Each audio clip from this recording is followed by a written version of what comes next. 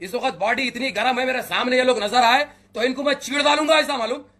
Paper फाड़ने के लिए तो भी टाइम लगेगा, लेकिन इनके पिछवाड़े पकड़ के फाड़ दूँगा, इनके पेटों में डाल के हाथ छीड़ दूँगा इनके, इनकी हथुड़ियाँ खींच लूँगा।